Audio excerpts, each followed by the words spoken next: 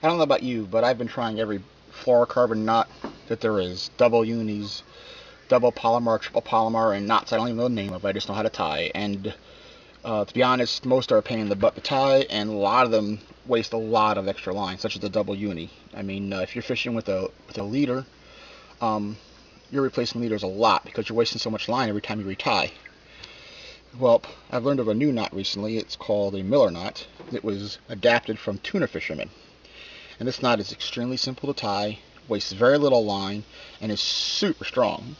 I recently tried it out on Santee Cooper, and I mean, I was setting hooks on everything under the sun, and I just could not break this knot. Anyways, this is how you tie it. It's very simple. You pass your line through your eye as normal. Then once it's passed through the eye, you come back again like you do on a Palomar knot. Then you take your finger and your thumb and you grab that loop. You want to preserve this loop you're going to need that loop. Okay, so I preserve that loop with my thumb my, finger, my index finger. Now I'm going to wrap the line over my main line twice.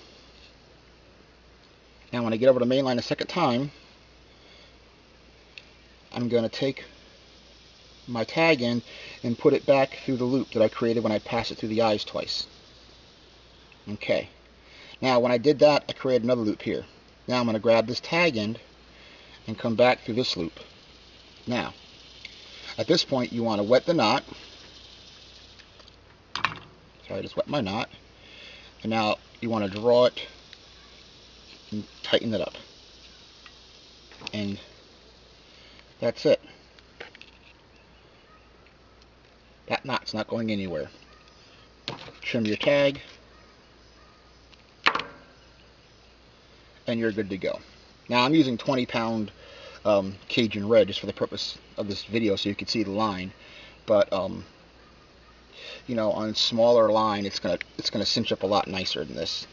I don't recommend it for braid. I don't know if it's gonna work with braid, but if you want to try it, give it a shot. Let us know. Anyways, there you go.